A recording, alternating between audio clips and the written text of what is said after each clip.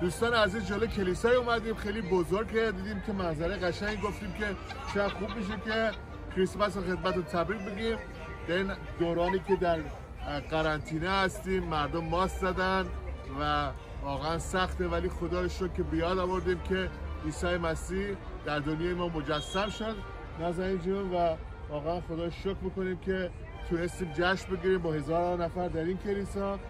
که البته با مراقبت ماست. آره آره البته من ماسکم رو در آوردم ولی اون تو زده بودیم. و خیلی عالی بود. البته چند روز از کریسمس میگذره ولی هیچ وقت کهنه نمیشه و هر روز ما تولد منجیمونه. و تبریک میگیم به شما عزیزان. و چند روز دیگه هم سال جدید میشیم. بله من برای همین ماسکم رو در میارم.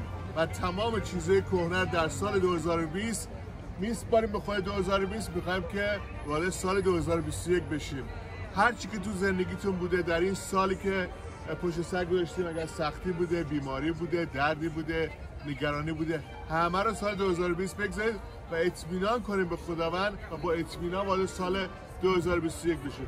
ما نمی‌دونیم سال 2021 برای ما چی میشه ولی بدونیم خدای ما سال 2021 هست.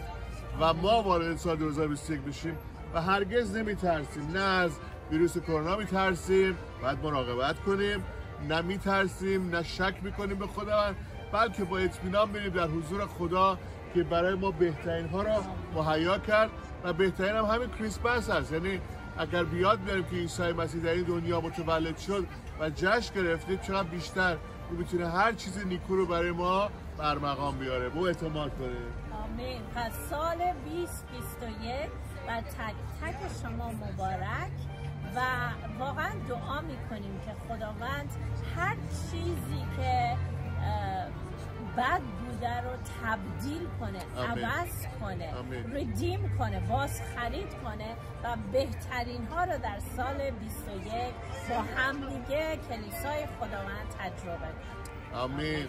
پس دعای ما با شماست. با خوشی با اطمینان با شادی با مراقبت. به خداوند توکل می‌کنم و سال 2021 میشیم.